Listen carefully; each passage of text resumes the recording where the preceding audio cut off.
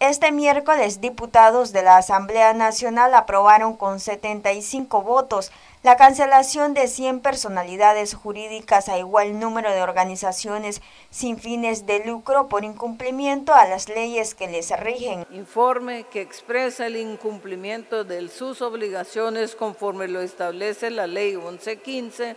Ley General de Regulación y Control de Organismos sin fines de lucro y su reglamento, y la Ley 977, Ley contra el lavado de activos y el financiamiento al terrorismo y el financiamiento a la proliferación de armas de destrucción masiva y su respectivo reglamento. Estado financiero por más de 6 a 30 años conforme periodos fiscales con desgloses detallados de ingresos, egresos, balanza de comprobación,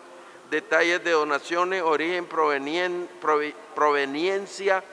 y beneficiario final, con lo cual han violentado la ley número 1115, Ley General de Regulación, Control de Organismos sin fines de lucro, artículo 34, numerales 7 y 24 de la citada ley, y el decreto ejecutivo número 15-2018, reglamento de la ley número 77, la ley contra el lavado de activos, el financiamiento al terrorismo y el financiamiento a la proliferación de armas de destrucción masiva,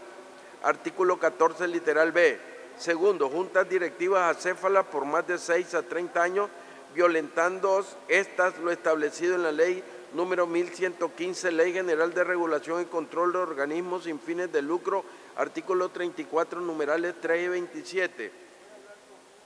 Y tres, información de identidad y origen de todos sus miembros y donantes nombre y apellido, cédula de identificación o pasaporte, dirección exacta del domicilio y teléfono, violentando lo establecido en la ley número 1115, Ley General de Regulación, Control de Organismos sin fines de lucro, artículo 34, numerales 26, 26, 1 y 26, 3, así como el decreto ejecutivo número 15-2018, reglamento de la ley número 977,